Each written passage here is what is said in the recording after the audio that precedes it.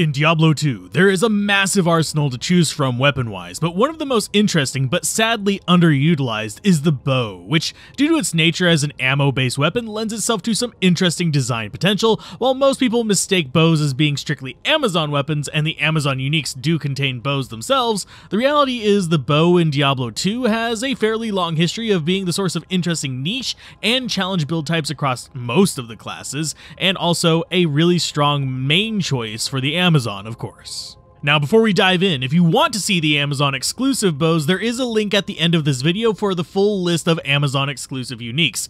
Though for now, let's dive into the truly old school weapons with the normal difficulty unique bows. Starting with Pluckeye, we have a plucky little bow that has okay stats for its level, but doesn't do anything exceptionally amazing. The core design is a mana bow, which you'll often see as a tool for Magezons, and that will become a thing as we get further in, but due to this one's low damage, the only real benefits you're getting with this bow are the 2 mana per kill, since the enhanced damage is insignificant on a short bow, and the attack rating is quickly outclassed. That said, it could be upgraded to exceptional for a Magezon, but with insight coming to bows, it won't be worth the cost upgrade, and you can usually find something much better. After that is Wither's String, an actually worthwhile low-level bow for any character who wants to use it. While it won't see use outside of normal, mostly due to its pitiful damage, the ability to fire magic arrows is a very welcome tool early on to save money on arrows. And with the increased attack speed mod on it, and actually can fire reasonably fast compared to other bows.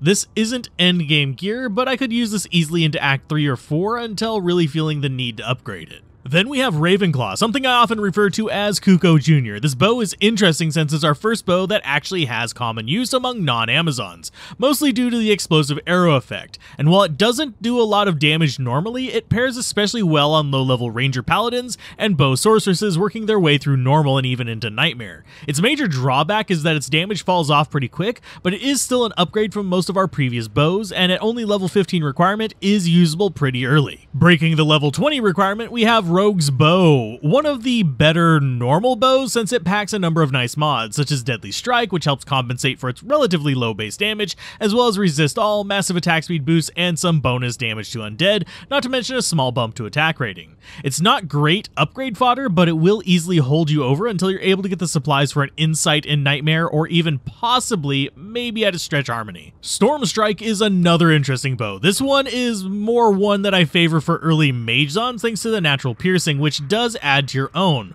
So while early on you won't be able to spam your freezing or exploding arrows, this bow can help you get much more out of them. That combined with the okay damage for a normal bow between physical and lightning, as well as giving you at least some of the most important normal difficulty resists, and it makes a relatively safe pick, though you will be a decent bit into normal before you can actually start using it. After that, we have Witherstring's big brother, Wizendraw. Again, okay damage for normal difficulty, combined with attack rating, cold resist, and even a bit of cold resist piercing that is really uncommon at this level. And it is a sneaky way to get that function on a low-level sorceress as well, since it packs magic arrows. For anyone other than the Amazon, it makes a very nice pick up and play kind of bow. Though on the Amazon, it does give your cold arrow options early on a bit more kind of punch because of that piercing cold. I'd probably rate this one as the biggest normal difficulty sleeper weapon out of all the bows. Next, we have Hellclap, a bit better minimum damage than the last couple bows, but still a fairly standard this is a fire weapon setup, with a chunk of fire damage that is decent enough for normal, okay attack speed, as well as plus to fire skills and fire resist. It's basically what you'd expect if they pretty much just copy pasted some of the fire swords over to the bow line. The last of the normal bows is Blast Bark, which is seems like it would be better than it is, but considering how late you'll start finding it in normal, it's quickly outclassed by our later options. That said, it's still not a bad bow for a low-level Magezon since it does enough damage to at least get some of the mana from the leech, albeit not enough for spamming yet, and also plus to Amazon skills and a tickle of exploding arrow on top of it. As we move into the exceptional, we start to see the more interesting design changes brought with the expansion, starting with a fairly underestimated Sky Strike, which is a good bow to find in late normal and early nightmare since it has decent mods that we like to see on bows, such as speed, okay damage, thankfully buffed by lightning, as well as attack rating and Amazon skill bumps for a little extra love. It is also our first chance to see a chance to cast bow, this time with meteors, though generally you'll only rarely see it actually hit an enemy because the meteors take so long to fall, it is fun for the fireworks works. Next is Rip Hook, where we start to see the damage of the unique bows finally start to perk up a little bit in our early Nightmare drops. This is a pretty underestimated bow for solo self-found runs because it has some really nice mods, with okay enhanced damage, slow target, open wounds, life leech combined with solid speed due to the base bow type and mods.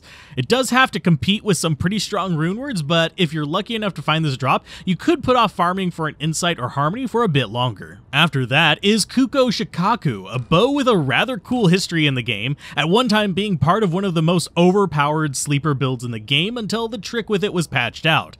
This bow at first looks fairly basic, decent damage with extra fire on top of that, as well as points in Amazon bow skills and Immolation Arrow. What makes it special, and still does for rangers and bow sorceresses, is that it fires explosive arrows combined with the piercing attack and we will see that combo be important in crossbows too. This is because your fire damage is added to the explosion, so you can probably see why this is a common pick for Holy Fire Paladins and Enchantresses as a ranged weapon option. The Pierce makes it so that you can have even more of these explosions as well. Following that though is the comparatively disappointing Endless Hail, which is just an okay damage bow with a pinch of cold mod slapped on it. It does give you plus strafe, so it can be semi-helpful there, but it really doesn't add enough of anything to really stand out from just getting a good magic or rare bow, and usually those will give you even more bonuses. Witchwild String thankfully pulls us back into the realm of interesting bows, this one being a bow that I will sometimes even use on Act 1 rogues until I can make a Lawbringer for an Act 5 mercenary or happen to find a Reaper's Toll. This is because this bow packs a chance to cast amplified damage on striking, which really helps out a number of characters. This combined with the bow actually doing okay damage for where you'd get it, and having deadly strike percent on top of that would make it a solid choice regardless. But wait, there's more. This thing has 40% resist all, magic arrows, and another two sockets on top. While this bow is not best in slot, it is definitely slept on a lot whenever it shouldn't be. This is the first of the unique bows that can actually compete with some of the budget runeword bows.